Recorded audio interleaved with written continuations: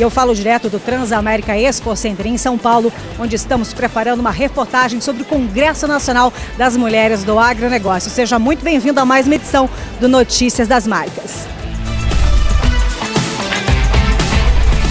Para apoiar os clientes da América Latina, a Perkins está lançando uma página da web dedicada à América Latina. A página estará disponível em três línguas: espanhol, português e inglês e fornecerá aos clientes informações sobre Perkins, sua presença na América Latina e compromisso com a região. O endereço é este que está aparecendo na sua tela.